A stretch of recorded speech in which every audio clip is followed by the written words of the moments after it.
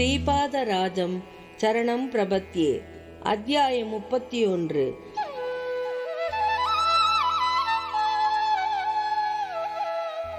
தசமகா வித்யாக்களின் வர்ணனை.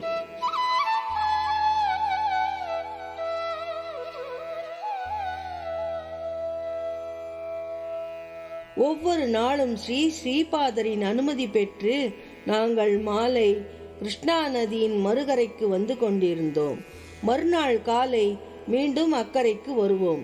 நாங்கள் பல்வேறு தெய்வீக ரகசியங்களையும் புதிய யோக விஷயங்களையும் ஸ்ரீ மகா குருவிடமிருந்து அருள் கடாட்சமாக பெற்றுக்கொண்டிருந்தோம் ஸ்ரீ தேவி வழிபாட்டு முறையில் தசமகா வித்யா என்ற தத்துவம் பற்றி கேள்விப்பட்டிருக்கிறேன். நான் ஸ்ரீ குருவிடம் ஸ்ரீ சரணிடம் இந்த தசமகா வித்தை பற்றி விவரிக்கும்படி கேட்டுக்கொண்டேன். ஸ்ரீ குரு சார்வபௌமா கீழ்கண்டவாறு விவரித்தார்.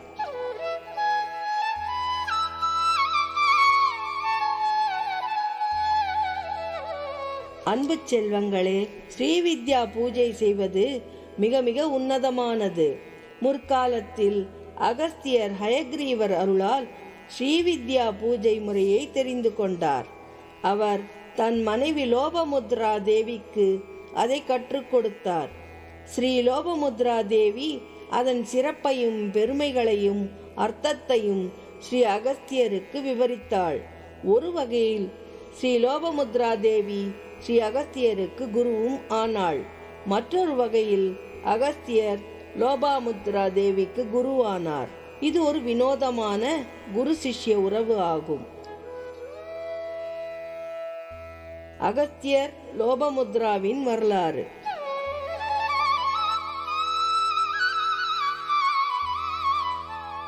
விதர்ப்ப அரசன் அகஸ்தியரை குறித்து தவம் செய்ததன் பலனாக ஒரு மகளை பெற்றான்.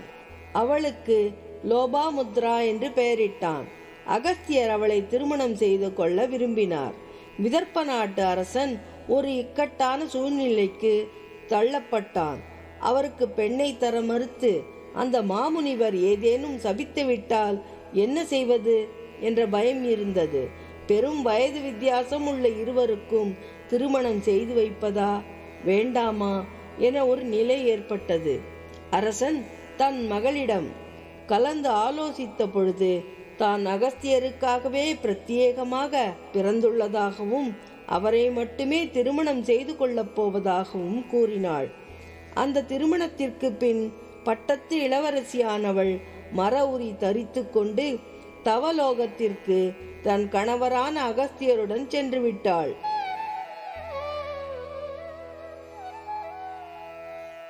அகத்தியர் லோபாமுத்ராவிற்கு ஸ்ரீவித்யாவை கற்றுக் கொடுத்தார்.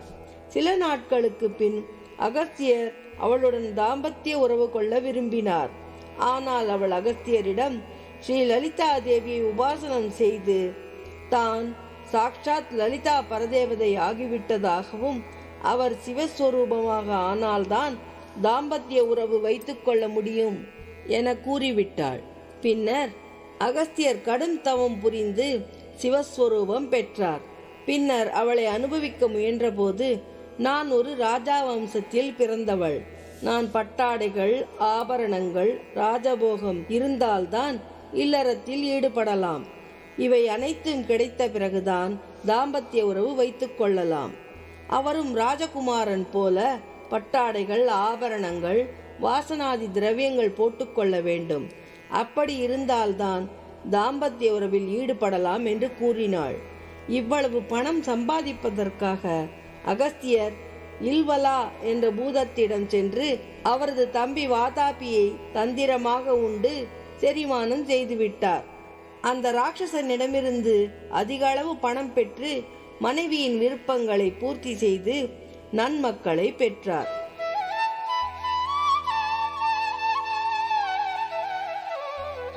இல்வலா மற்றும் வாதாபி இருவரும் சகோதரர்கள். வாதாபி ஒரு ஆட்டு உருவம் எடுத்துக்கொள்வான். இல்வலா அந்த ஆட்டை சமைத்து விருந்தினருக்கு உணவாக அளிப்பான். சாப்பாட்டிற்கு பின்னர் இல்வலா வாத்தாப்பி வெளியே வா என்று கூறுவான். வாத்தாப்பி அந்த உணவு உண்ட விருந்தினரின் வயிற்றை கிழித்து கொண்டு வெளியே வருவான். அந்த இரண்டு ராட்சசர்களும் அந்த விருந்தினரின் உடலை பங்கு போட்டுக்கொண்டு உண்பார்கள். அகஸ்தியரும் ஆட்டு இறைச்சி விருந்தை உண்டார். வழக்கம் போல இல்வலா வாத்தாப்பி வெளியே வா என்று கூப்பிட்டார். ஆனால் அகஸ்தியர் வாத்தாப்பி ஜீரணம் வாத்தாப்பி ஜீரணம் வாத்தாபி ஜீரணம் என்று கூறினார். அகஸ்தியரின் விருப்பத்திற்கிணங்க வாத்தாபி ஜீரணமாகி விட்டான் இல்வலா ஒப்பந்தப்படி அகஸ்தியருக்கு அதிக அளவு சன்மானமாக பொன்னும் பொருளும் அளித்தான். மக்களும் வாதாபி மற்றும் இல்வலா ராட்சசர்களின் துன்பங்களில் இருந்து விடுபட்டார்கள். தேவியின் தசமகா வித்யாக்கள்.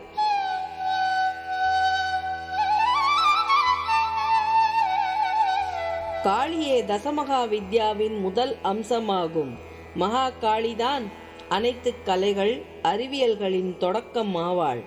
அவளது வித்தையின் சிறப்புகள் மகா வித்யாக்கள் என்று அழைக்கப்படும். ஒருமுறை அனைத்து தேவலோக வாசிகளும் மகரிஷி மாதங்கர் ஆசிரமத்தில் மகாமாயாவை துதி செய்து கொண்டிருந்தனர். அம்பிகா மாதங்கா என்ற பெண் வடிவில் தோன்றினாள். அவள் கருத்த வர்ணத்தினளாய் கருமை சற்று எடுப்பாக இருக்கவே அவள் காளி என்று அழைக்கப்பட்டாள். சும்பன் நிசும்பன் என்ற அரக்கர்களை வதம் செய்தவள் அவள். அவளின் கருமை கருநீல வர்ணத்தை கொண்டதால் அவள் தாரா என்றும் அழைக்கப்பட்டாள். பல ஆண்டுகள் யோக சாதனை செய்து அடைய வேண்டிய பலனை சில நாட்களிலோ மாதங்களிலோ பெற வேண்டும் எனில் ஒருவர் காளியை உபாசனை செய்யலாம். ஆனால் அந்த காளியின் சக்தியானது ஆன்மீக சாதனையின் போது உடலில் புகும் சமயத்தில் கடுமையான வலி உடல் முழுவதும் எரிவது போன்ற பாவமும் வலியும் ஏற்படலாம். தாரா என்பவள் தசமகா வித்யாவில் இரண்டாவது வித்யா. அவள் எப்பொழுதும் முக்தியும் விடுதலையும் அளிப்பவள். ஆகையால் அவள் தாரா என்ற பெயரில் புகழ் பெற்றாள். அவளுக்கு நீலா சரஸ்வதி என்ற பெயரும் உண்டு. அவள் பக்தர்களை கோர விபத்துகளில் இருந்து காப்பாற்றுவாள். ஆகையால் யோகிகளில் உபதாரா வடிவில் பூஜிக்கப்படுகிறாள். வசிஷ்ட மகரிஷி தாராவின் மிகச்சிறந்த பக்தராவார். சித்திரை மாத சுத்த நவமி இரவு தாராராத்திரி என்று அழைக்கப்படுகிறது. சின்னமஸ்தா என்ற ரூபம் தசமகா வித்யாவின் மூன்றாவது வித்தையாகும். இது மிக மிகச் சிறப்பானது. ஒருமுறை தேவியானவள் தன் தோழிகள் விஜயா ஜயாவுடன் மந்தாகினி ஆற்றில் ஸ்நானம் செய்யச் சென்றாள். குளித்த பிறகு அவளுக்கு பசி எடுத்தது. கருமையான நிறத்திற்கு மாறிவிட்டாள். அவளது தோழிகள் உணவு வேண்டினர். கருணியே உருவான தேவியானவள் உடனே தன் தலையை கத்தியால் சீவ அறுபட்ட தலை அவளது இடது கையில் விழுந்தது. முண்ட உடலில் இருந்து மூன்று இடங்களில் ரத்தம் பீச்சி அடித்தது. தோழிகள் இருவரும் மூன்று பீச்சங்களில் இருந்து வரும் ரத்தத்தை குடித்து பசியை போக்கிக் கொண்டனர். அவள் சின்னமஸ்தா என்ற பெயரில் பிரசித்தி பெற்றாள். இரண்யகசிபு மற்றும் பலர் சின்னமஸ்தா தேவியின் பக்தர்கள் ஆவார்கள் சோடசி மகேஸ்வரி தசமகா வித்யாவில் நான்காவது ஆவாள். அவளது இதயம் கருணை இரக்கம் தயவால் நிரம்பியதாகும்.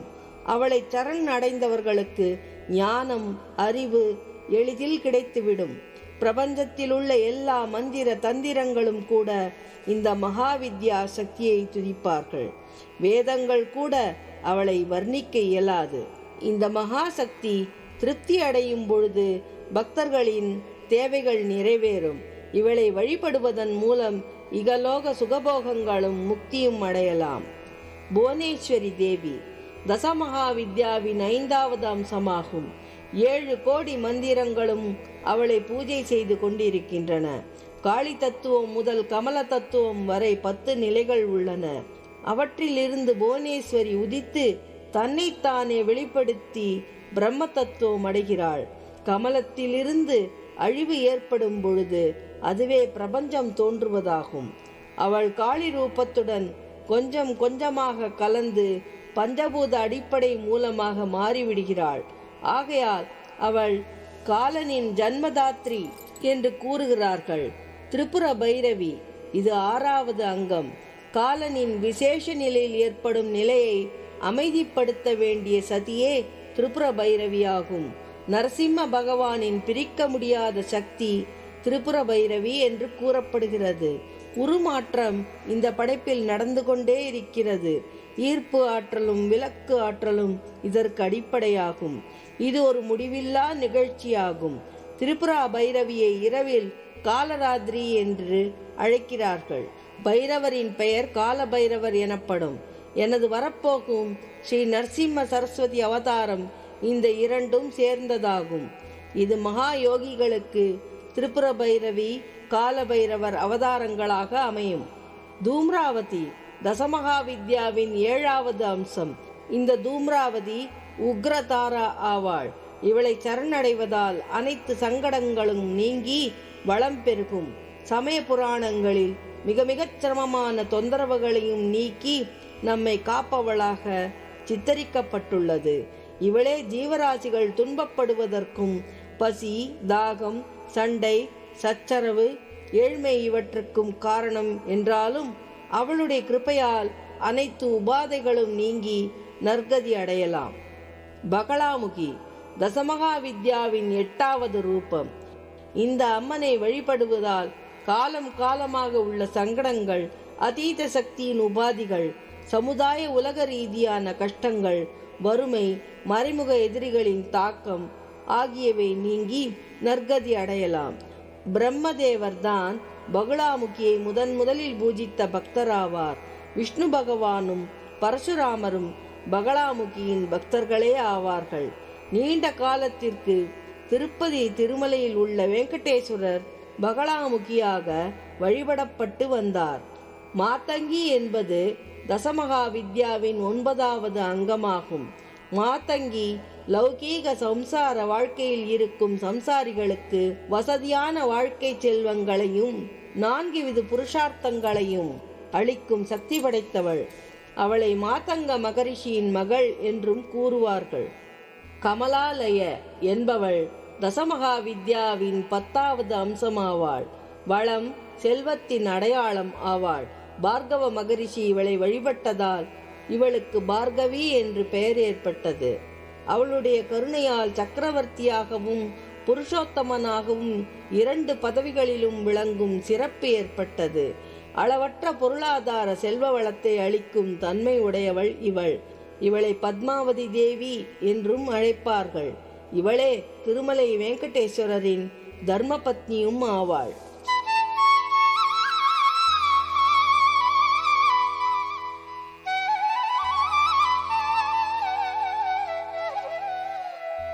என் அருமை குழந்தாய் உனக்கு தசமகா வித்யாவை பற்றி யாரால் ஒவ்வொரு நாளும் எவ்வளவு சொல்லிக் கொடுக்கப்பட வேண்டும் என்ற முடிவு செய்த பிறகு சொல்லிக் கொடுக்கிறேன். தசமகா வித்யாவின் அம்சமாகவும் ஒருங்கிணைந்தவளாகவும் விளங்கும் அனகா தேவியை பூஜிப்பவர்களுக்கு அவர்கள் குழந்தைகளான அஷ்டமா சித்திகள் கிடைக்கும். நீ ஒவ்வொரு மாதமும் பகுல அஷ்டமி என்று அனகாலட்சுமி பூஜையை கடைபிடிப்பாயாக. அனைத்து ஆசைகளும் நிறைவேறும்.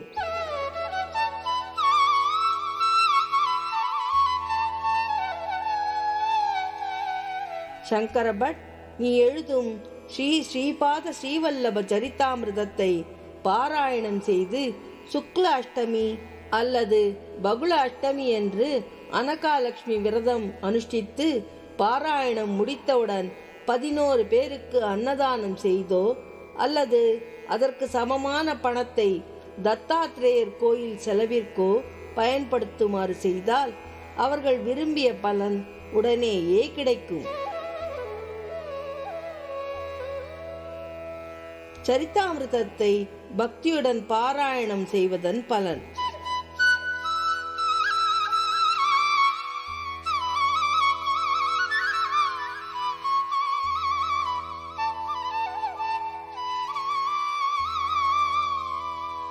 இந்த சரித்தாமிர்தத்தை ஒரு சராசரி புத்தகம் என்று நினைத்து கொள்ளாதே.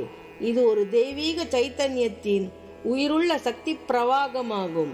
நீ பக்தியுடன் இதை பாராயணம் செய்யும் பொழுது அந்த எழுத்துக்களின் வலிமையானது என்னுடைய மானசீக சைத்தன்யத்திற்குள் பாயும்.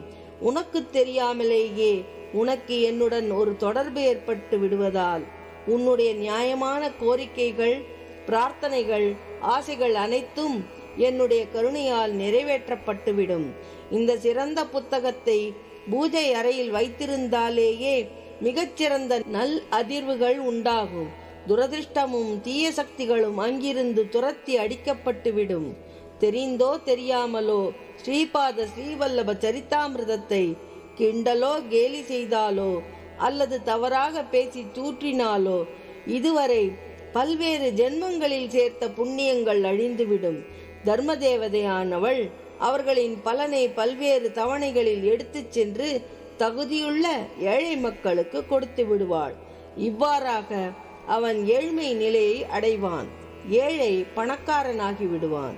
இந்த புத்தகத்தில் உள்ள ஒவ்வொரு அட்சரமும் உண்மை என்று ஆணித்தரமாக சத்தியம் செய்து கூறப்படுகிறது. அதுவே அதற்கு சாட்சியும் நிரூபணமும் ஆகும். இதை கிண்டல் கேலி செய்பவர்களோ தூற்றுபவர்களோ அவர்கள் இதுவரை சேர்த்து வைத்த புண்ணியங்கள் அனைத்தும் இழந்து இறுதியில் ஏழையாகி விடுவார்கள்.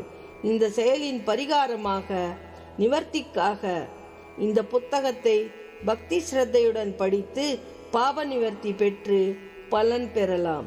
ஜெய ஜெய ஸ்ரீபாத ஸ்ரீவல்லபா ஜெய ஜெய ஸ்ரீபாத ஸ்ரீவல்லபா ஜெய ஜெய ஸ்ரீபாத ஸ்ரீவல்லபா.